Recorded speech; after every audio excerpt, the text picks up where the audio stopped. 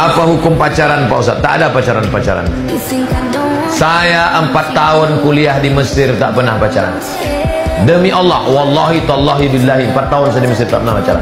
Kenapa Ustaz tak pacaran? Jarak kampus laki-laki perempuan 15 km. Saya Ustadz Baihaki, Ustadz Oni, Ustadz Nafrizal sama kami. Kami diikat oleh KSMR, kelompok studi mahasiswa Riau. Kelompok studi mahasiswa Riau. Mahasiswa Indonesia semuanya 2400. Yang laki-laki 2100, yang perempuan 300. Persaingan ketat.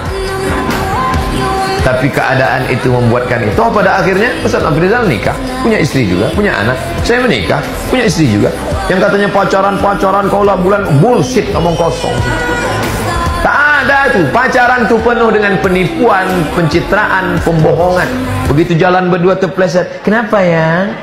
Begitu dah beranak jatuh mampus lu itu.